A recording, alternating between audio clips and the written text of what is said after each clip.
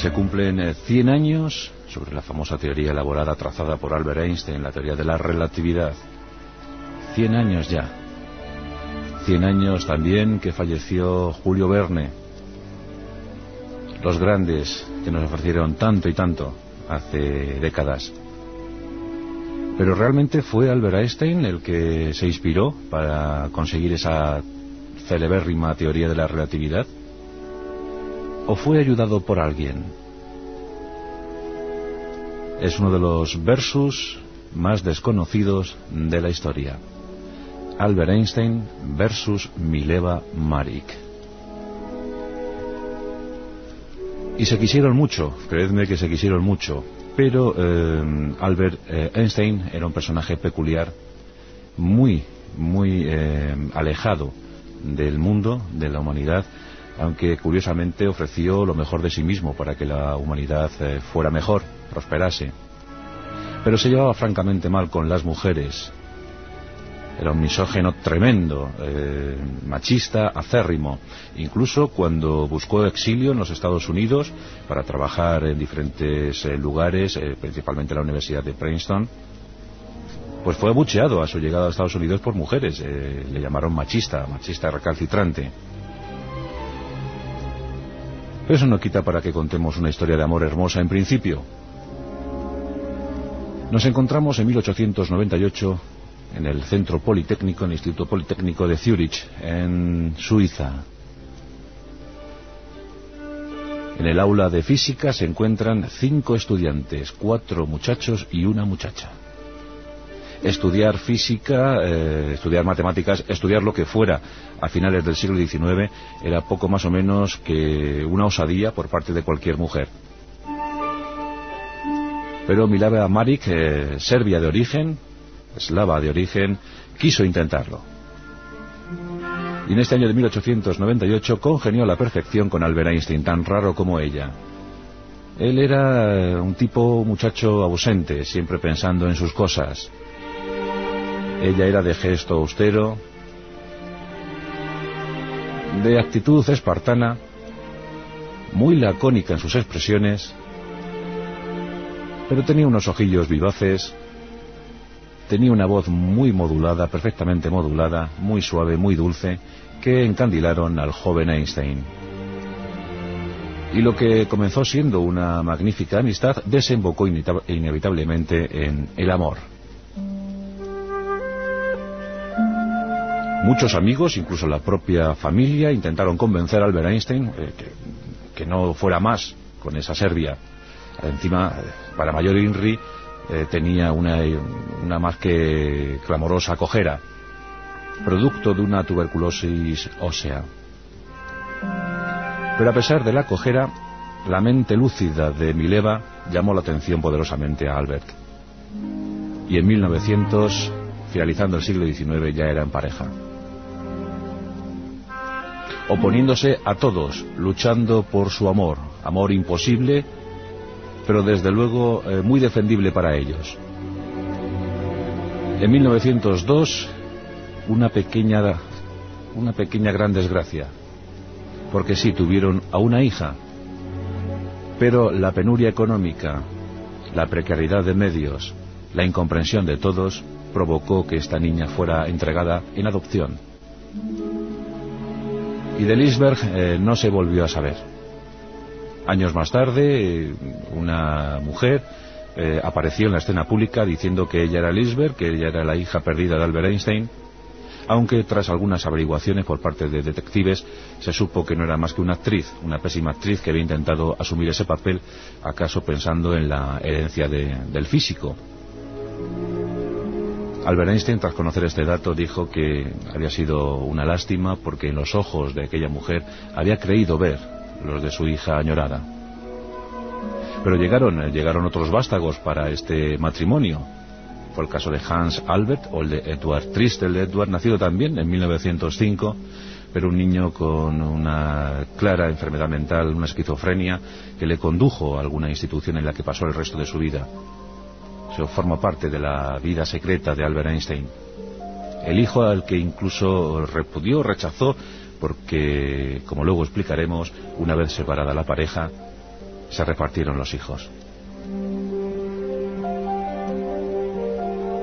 Mileva eh, era el alter ego de Albert, era la única persona que accedía al disco duro de Albert Einstein, la única capaz de, imprimirle nuevas historias, eh, azuzarle sentimientos, eh, confundirle con elaboraciones matemáticas. Era muy buena matemática Mileva Maric, mejor que Albert Einstein. Famoso es eh, que Albert Einstein jamás se llevó bien con las matemáticas, sin cambio con la física.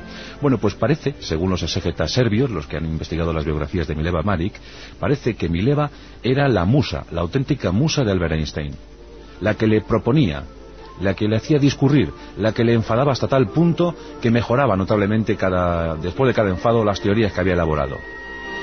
Por eso muchos presumen que Mileva Maric fue eh, la auténtica artífice de la teoría de la relatividad, la que estuvo al lado de Albert Einstein cuando éste trazaba sus postulados.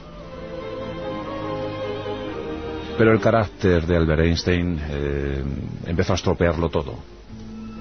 El nacimiento de Edward eh, agrió mucho el carácter de Einstein. Esas anomalías mentales defraudaron al físico alemán y por si fuera poco, una aventura tras otra. Albert Einstein frecuentaba eh, demasiadas camas y dicen que ya estaba secretamente enamorado de una prima suya que posteriormente sería su segunda esposa.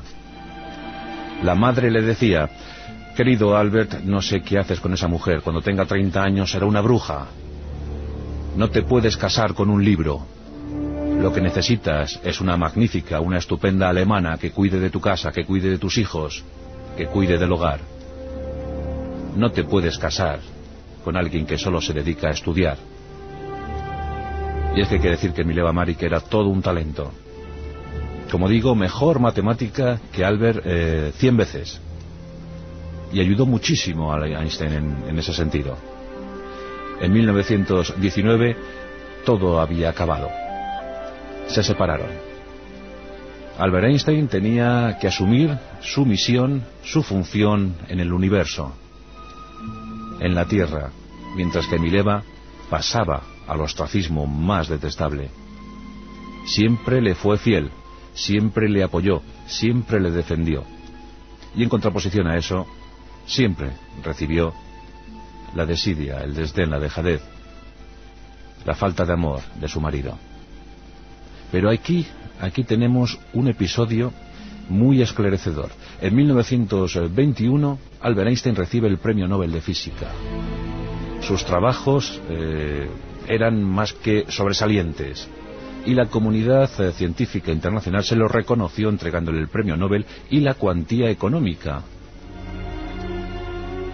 Albert Einstein, eh, que también quería el dinero, muy, muy amante de lo económico, aunque pueda pensarse que era un hombre desprendido, que no, pero sí, sí, sí que le hacía caso al dinero, pero aquí protagoniza un capítulo yo creo que más, más que interesante, más que enigmático. Albert Einstein recibe el premio, recibe el galardón, recibe el cheque y lo primero que hace es entregar ese dinero íntegro a Mileva Maric, de la que ya llevaba separado un par de años. ¿Por qué hizo esto? ¿Acaso fue un soterrado reconocimiento a la ayuda innegable que le había prestado en la elaboración de la teoría de la relatividad? Muchos estudiosos piensan que así fue.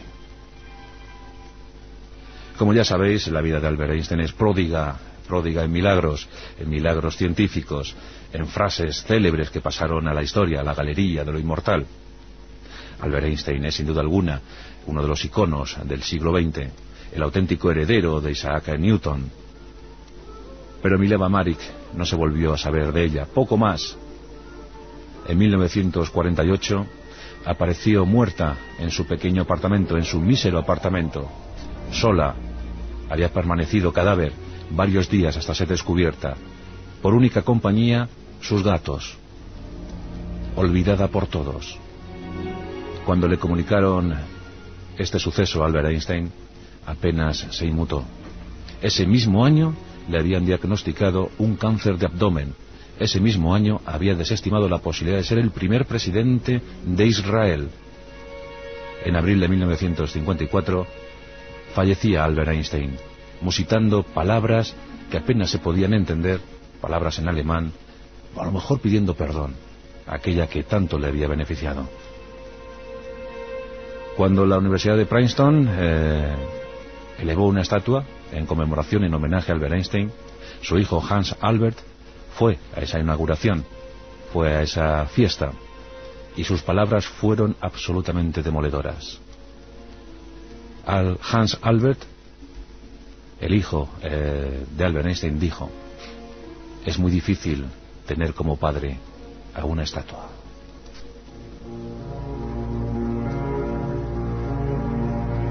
Uno de esos versus eh, enigmáticos, Albert Einstein versus Mileva Marik.